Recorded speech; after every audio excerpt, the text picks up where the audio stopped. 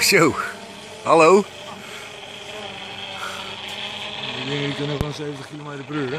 Dat heb ik nou al door, ja.